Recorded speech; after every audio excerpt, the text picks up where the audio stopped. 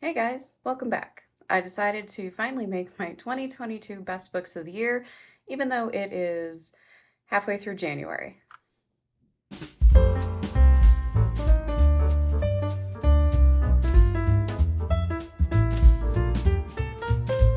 I have eight books that I'm classifying as my best books of the year.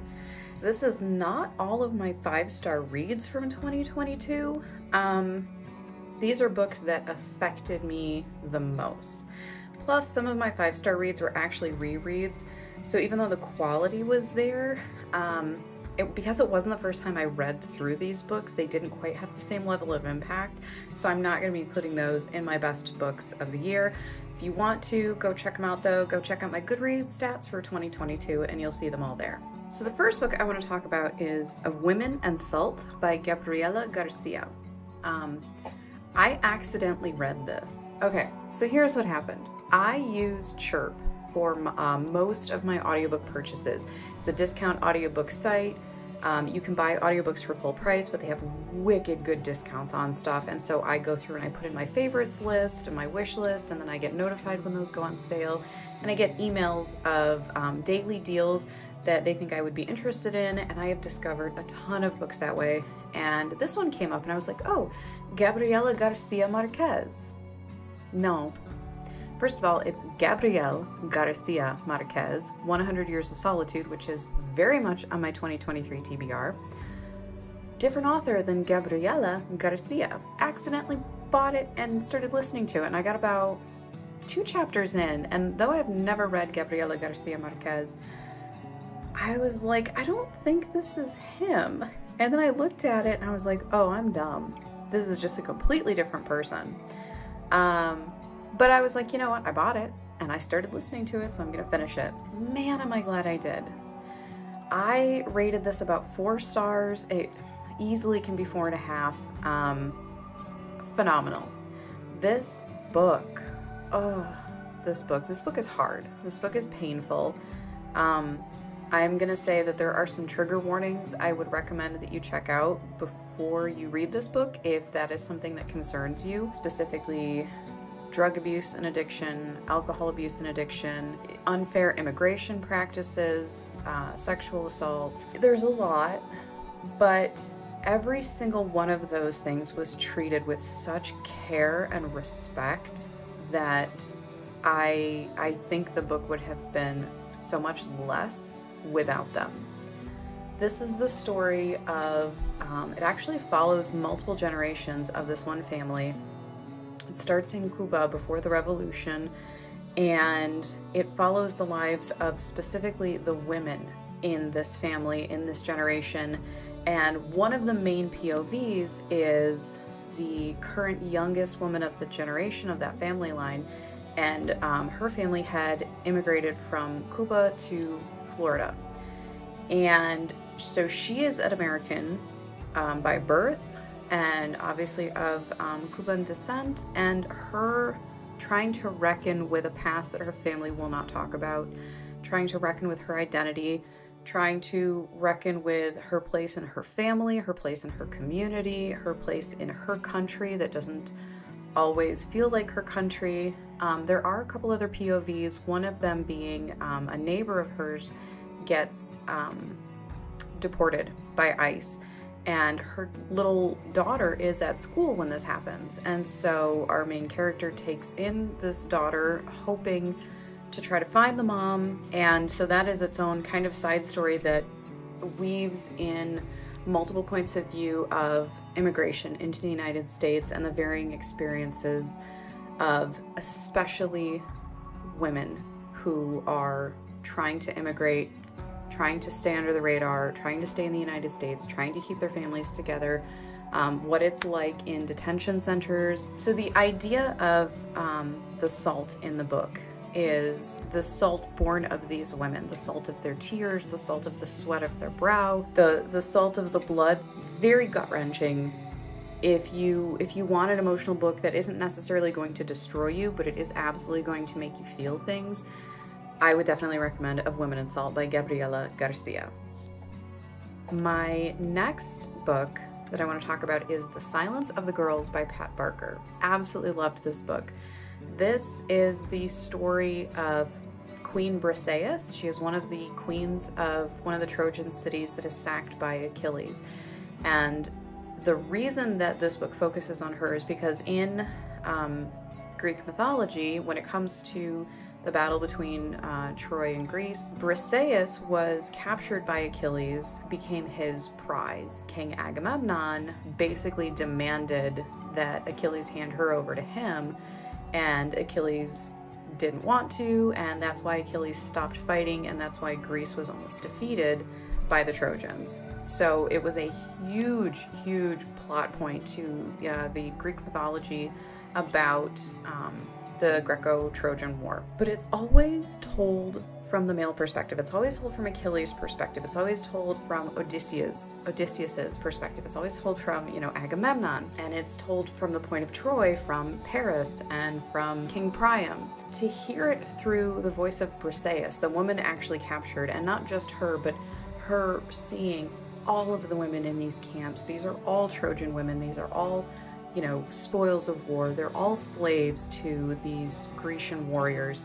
And these are not golden, demigod, uh, shining heroes. You know, these are brutal warmongers to these women. These are enslavers to these women. And the story told from her voice and from her perspective was so, so, so well done.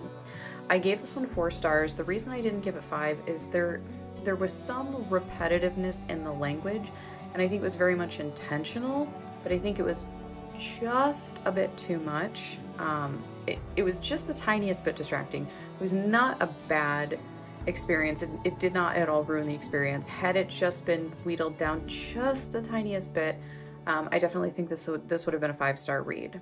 Um, Briseis's voice and her observations of Achilles and Patroclus and um, the overall structure of this Grecian force and what they were doing to the people of Troy, the pointlessness of war for the sake of men's egos. Phenomenal. Absolutely loved it, and I would highly recommend The Silence of the Girls by Pat Barker. The next best book of 2022 for me, which was a five star read, Address Unknown by Kathrine Kressmann Taylor. I'm not going to get tongue twisted on that again. Oh my god. Okay, so this book is tiny. You can see. Oh, does this pack a punch though? This is the story of two men who are dear, dear, dear friends. Um, and after World War One, they both went to the United States and they set up shop in San Francisco, and they own an art gallery. One of them decides to return to Germany just before the start of World War II and the other stays in San Francisco. And so they are corresponding back and forth, um, building their art business and serving the Jewish community at large in San Francisco, in particular, because it had a large Jewish population, and the man who stayed in San Francisco is Jewish. His friend who went back to Germany is not Jewish. So you see through letters that are no more than a page, page and a half at times, the relationship and its devolving while the man in Germany is buying into Hitler's propaganda. He is starting to believe that his Jewish friend is the exception and not the rule. Uh, Jews are a monolith, Jews are a scourge on society, and Hitler has the solution. The man in San Francisco is having a really hard time believing his absolutely dear friend could possibly think this way. These letters back and forth, just in tiny snapshots, tell such an amazingly powerful story. And you go through so many emotions while you're reading this. You go through fear, you go through disappointment, you go through indignation, you go through rage and calling for blood almost. I am I am amazed at what this book did to me in such a short time. Additionally to that, the foreword that was written um, actually talks about race relations in the United States and specifically what happened with George Floyd um, in relation to dehumanizing groups and populations of people and what that does to the overall society. I did not realize that was going to be in the foreword, and when it did, uh, I, it just it, I just broke down.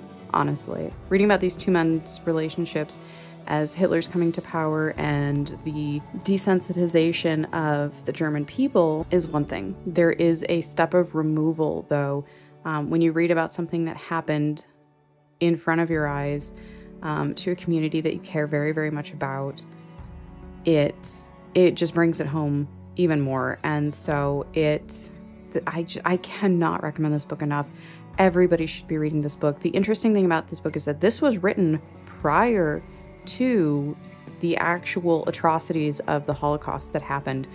Um, there was this American woman who was hearing what was coming out of Germany and was terrified about what that meant. And so she wrote this book to try to wake people up to say this is not something we can ignore. This is only going to get worse. And it was published before Hitler really was the Hitler that we think of today, and nobody listened. I, and it's hard to say that nobody listened because in the back of the book, her son talks about how wildly popular this book was.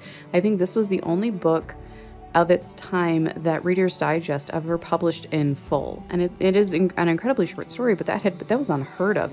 So many people read this, so many people thought this was important, and still what happened happened. Still the people that had the power to do something about it turned a blind eye to it.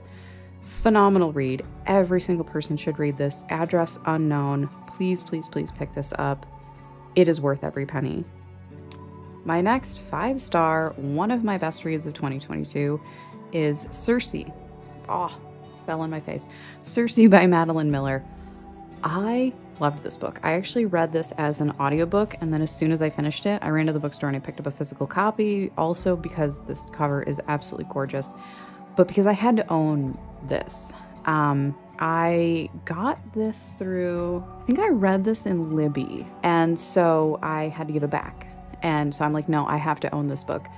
I did not have that experience with many of the books that I read. Most of the books that I got through in 2022 were audiobooks. Um, a good amount of those were from Libby, so they were library books that I had on loan and I do not own a copy of. Um, a good amount I did get through Chirp, and so I do own them, um, but I don't think Circe is one of them. I want to buy the audiobook copy of this. So I think I put it on my wish list. So when it goes on sale again, I'm going to be picking this up because the audiobook was absolutely phenomenal. So this is a retelling of Circe. She was the daughter of um, the Greek Titan, I want to say Apollo, it's not Apollo, Greek Titan Helios, god of the sun, and a water nymph. And so, unlike most of her siblings, she really wasn't a demigod. She was not a god. Um, she did not really have any abilities other than what were naturally born with her coming from a water nymph, aka she can breathe underwater, she can travel through water just fine. Um, but that's more of she's a child of the sea and less of she has the powers of a divine being. Um, so eventually she gets uh, exiled to an island and she realizes she does have powers. Uh, they're not innate, to her like a Greek god would be. Um, so she's considered more of a witch because she can make things happen from the elements around her, the plants specifically. And she does uh, end up gaining mastery over this. And whereas most people would hate being exiled to an island, she absolutely loved it. She wanted to be by herself. This girl's an introvert. I can relate. Quarantine was the greatest time of my life, other than the fact that it was due to a pandemic. But her story, told from her perspective, absolutely amazing.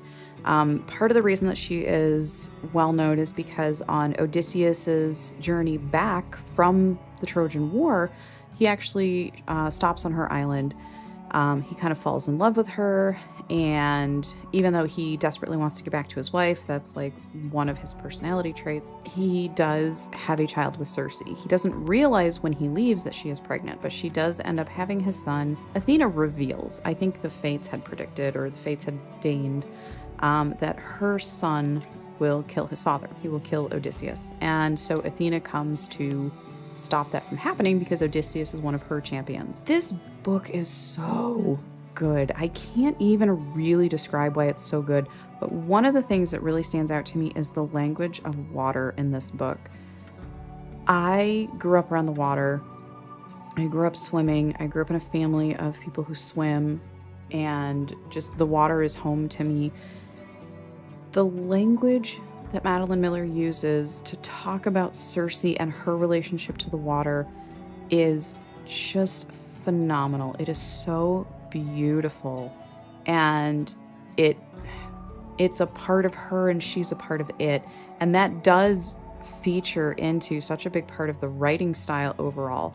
It's not the main plot point by any means, but it adds so much depth, no pun intended, to her character and her story. This is actually the reason I read The Silence of the Girls, because I finished this and I'm like, I need more.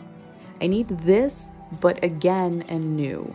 And honestly, the Song of Achilles doesn't really appeal to me as a topic. I loved the female focus of Circe, and I was looking for more of that, um, more so than just um, from the same author. And so when I found The Silence of the Girls, it wasn't quite as good as Circe, but it was very close, and it definitely uh, kind of scratched that itch that I still had after reading Circe. So if you can only pick a one of them, though, I'm gonna recommend Circe by Madeline Miller. Uh, the next book uh, was another another audiobook that I read, and that is We Are Not Free by Traci Chee.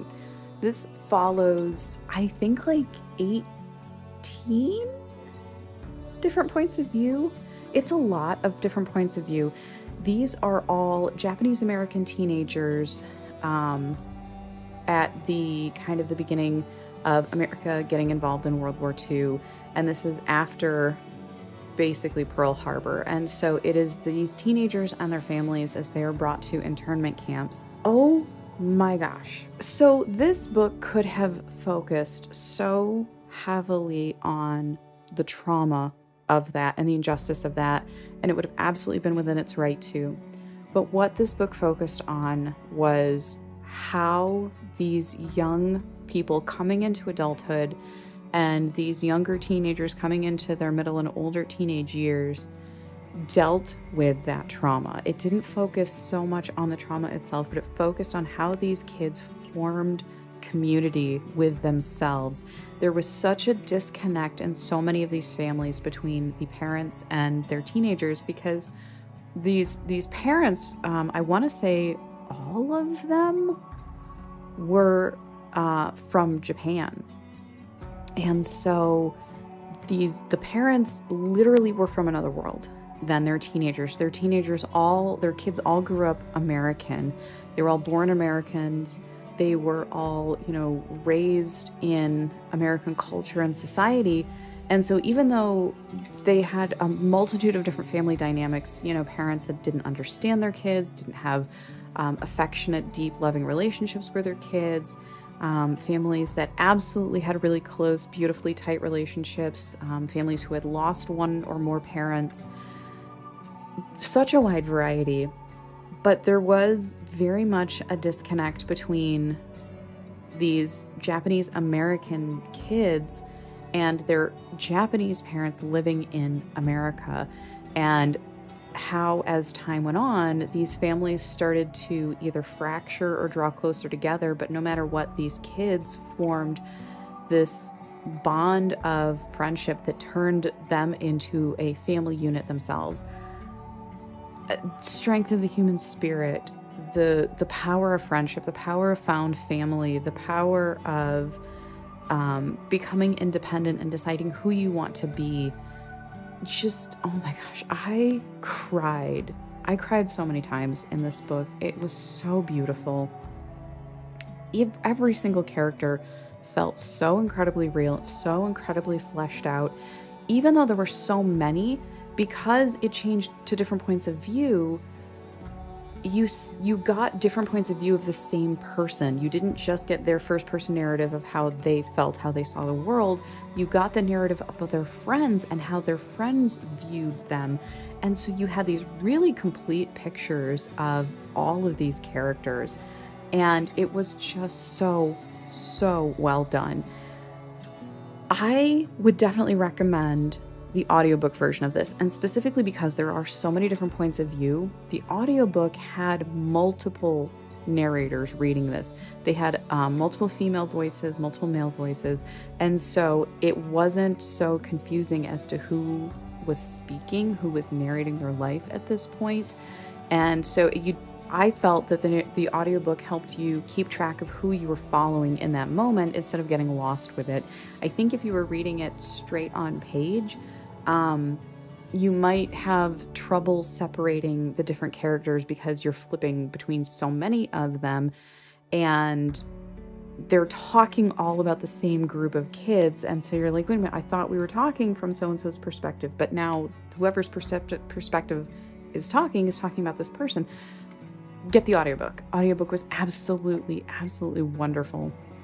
And i cannot recommend this book enough. This is another book that i want to own I absolutely want the audiobook version of this. I want everybody I know to read this book and I I don't know if I'm going to be rereading it in 2023 because I, I do have a pretty ambitious list of books already that I want to get finished this year.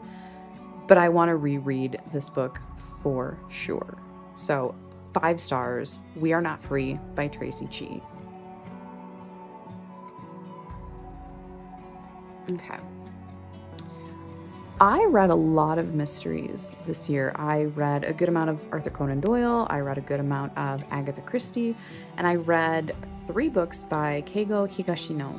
I read The Devotion of Suspect X, uh, Devotion of Saint, and Malice. Not in that order, I read them all weird. Uh, two of the three were pretty good, pretty darn good. Devotion of Suspect X. Oh my goodness, blew me away. I thought I had it. I thought I had it. The interesting thing about Keigo Higashino's writings that I've noticed right from the beginning, you know who the murderer is. It's less about solving the mystery of what happened and who did it as to why it happened and what led up to it happening. And so you're following the police investigation and sometimes the actual perpetrator to try to piece together the story that led to the event, because the books usually start out with the event. Um, in Malice, it was a little bit different. There was kind of a lead up, um, maybe, I'm not even going to say halfway, I don't think. It was before that, where you realize, oh, this is exactly what happened, this is who did it. But again, then it follows that pattern of the rest of the story is trying to figure out the why, what led up to it. Oh, Devotion of Suspect X, though. I thought with all the mysteries that I'd read, I was going to be able to figure it out. I was going to know exactly what was happening. I thought I was picking up on stuff, undercurrents and things. Oh, oh, the author doesn't think I'm going to pick up on that, but I totally picked up on that. And so I know what's going to happen. No, no, I fell for the bait. He purposely put it out there and in such a way that you think you're not supposed to pick up on it, but you do pick up on it. I, I was blown away. I was, I was caught off guard and it was fantastic. It was fantastic. I absolutely adored it. One or two lines in it, actually, especially towards the end, I was pacing um, in in between my my bedroom and my home office, and I was listening to it, and a line came up, and I literally stopped dead in my tracks. It was such a beautifully written, powerfully evocative line, and I literally just stopped in my tracks and stared at the floor while I pondered it. it eh, just, oh, so good. So good. Uh, so, if you like mysteries, if you like character studies and mysteries, or one or the other, so Devotion of Suspect X, Keigo Higashino, go read it. All right, we're down to our final two, which are actually the first two books I read in 2022. I, I keep wanting to say 2023. Okay, the first one was a book that I swore I would never read because I was a pretentious brat growing up. Um, swore I was never going to read it. And then finally, when I started picking up reading again in May of last year, first time I've read in years and years, I decided, okay, fine, I'll try it, but I'm to hate it and I'm to rip it to shreds. Pride and Prejudice by Jane Austen. I realized about halfway through that I loved it, and I was like, oh, I'm in trouble. And then I finished it and I was like, oh my goodness, this was five stars. I 100% thought I was to hate this book. I don't really care about romance as a genre.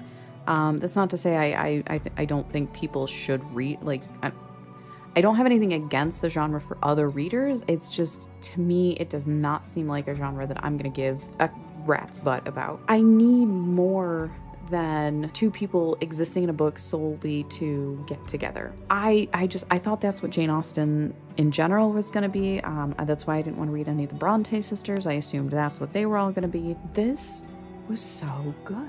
This was so good. First of all, it was really funny. I did not realize it was going to be this funny. Um, I did not know it was a satire until after I'd finished it. Uh, absolutely, absolutely brilliant. The characters in this book were very realistic. I thought that this book was going to depend very heavily on the miscommunication trope, and I absolutely hate that trope in any books, especially romance.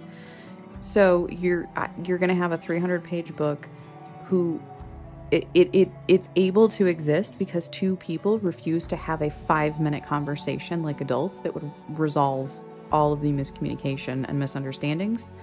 Mm-mm, can't do it. Won't do it.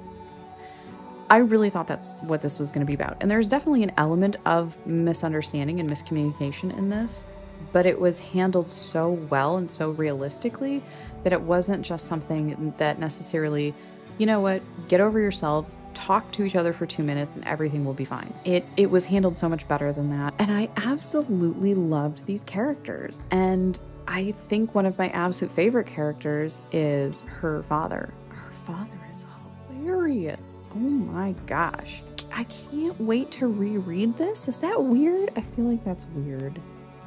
But I, I absolutely loved this. And for reading it through the first time, I think if I read it through again, I would have a lot more to pick up on, things to annotate. Um, but I loved how different each of the sisters of this family were. They loved each other. They were they were your typical sisters. They had things they didn't agree on. They had disagreements. They had arguments. Um, but there was never cattiness. There was never backbiting. Um, they just had their own visions for how they wanted their lives to go. And I, I just so good. It's so good. I don't know what else to say about this. But if you're looking for a classic that reads very modern that was the other thing. I thought this was going to have a lot of old English language that was going to be very hard to slog through and very hard to understand, and it did not. It was incredibly modern. I like this book had to be so ahead of its time. So if you're looking to get into a classic that is not too long, that is not very, you know, old English speech kind of, and you're looking for something that's actually going to make you laugh, but that has a good romance in it, oh, I, I Pride and Prejudice is it, man. Just go for it. And now, to absolutely no one's surprise, the first book that I read in 2022, the first book that I had read in over probably 13 years, and my absolute favorite book of 2022, and now my favorite book of all time The Count of Monte Cristo. The Count of Monte Cristo by Alexandre Dumas. I think I was pronouncing it Dumas for a long time, and then I was actually listening to somebody on YouTube that was saying saying something about one of his books, and they said Dumas, and I was like, oh yeah, he is French, and the French really like not pronouncing all the letters and words. Um, so Dumas, I think, is the appropriate pronunciation. This book. And this is actually my brand new copy, um, which is why you don't see the annotations in it. Um, but like I was saying on my other videos, I didn't start annotating this until I got like this far through it. So I had like this much left to annotate and this was all unannotated. So I bought a brand new copy so that I can reread it in 2023 and annotate the heck out of it. And also I plan to read this book once a year for the rest of my life because I love this book so flipping much. This is a story of a coming of age in a way. This is a story of injustice seeking justice, revenge, vigilanteism. The, the guy is Batman. He just is. He's Batman.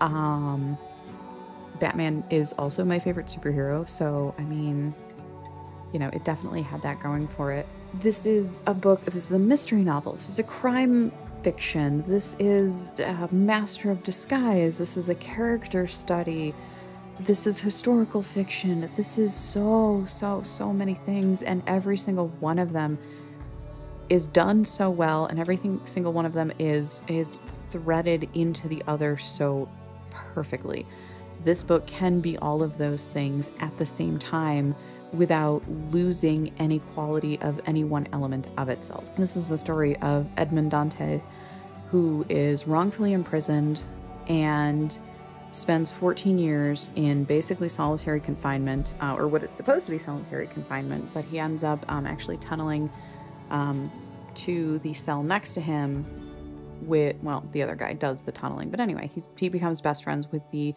uh, abbe uh, or priest in the cell next to him, and for 14 years is trained in mathematics, science, language, religion, humanities um, from this abbey. And when he escapes his prison, he is led to an immense treasure that makes him probably the wealthiest person on the planet at the time.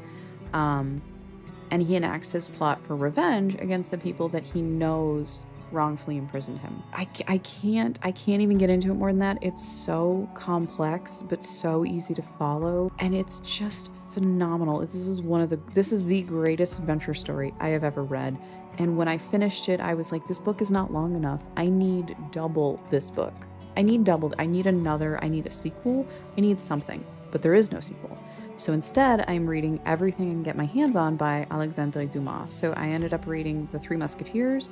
I finished that as my first book of 2023. I then set the book down, stared at the wall, and then picked up my phone and ordered The Red Sphinx, which is the second in the Three Musketeers series because The Three Musketeers is apparently a series. Didn't know that. There's like five or six books in it. Alexandre Dumas was an incredibly pro- prolific writer fascinating person. I started researching about him when I finished this book. He was black. He was black. Did you know that the guy who wrote The Three Musketeers and The Count of Monte Cristo was black? And it's amazing. His father served in the war for Napoleon. His father was like a black general or major. I don't remember the, the rank in the French army, but he was really, really highly ranked. very close to Napoleon, very personally um, tied to Napoleon, and cared about him a great deal, and then was very disappointed by the way Napoleon treated him. I, like, this is the coolest person I, I've ever read about. He is one of the most interesting authors I have ever had the pleasure to learn about, and I just want to read every single thing he's ever read, or everything he's ever written. He's he's an absolutely stunning writer he takes what should be really boring history and really brings it to life and you learn so much about the time and the place and the people while being told the most entertaining story. So I I cannot recommend if you're going to read one book in 2023, please make it The Count of Monte Cristo. Please, please, please, please. You're doing yourself a favor. You're not even doing me a favor. You're doing yourself a favor by picking up this book. And so I highly recommend, highly, highly, highly recommend The Count of Monte Cristo. I am hoping that uh, Game of Tomes, the readers that get to vote one month, will be voting for The Count of Monte Cristo because it is one of three choices Jude the Obscure, The Stranger, and The Count of Monte Cristo to be paired up against The Brothers Karamazov by Fyodor Dostoevsky. Everyone vote this. Vote, vote, vote, vote, vote, vote, vote, vote, vote, vote, vote, vote. Okay. I'm I'm done because I have to be done because I'm gonna be. It, it, why I left this for the end. Because had I started the video, we would still be this far in, and I would still just be talking about this book. Those are my best reads for 2022. Go check these out. At least one of the books on this list has to have been something that would have interested you, right? Right? Tell me down in the comments below. Tell me which of these books was the most interesting. I'm sure it's going to be The Count of Monte Cristo. I mean, I don't think that is going to be up for debate at all. But if it's another book, please feel free to tell me what it is and why it was more interesting to you than the most interesting book ever written.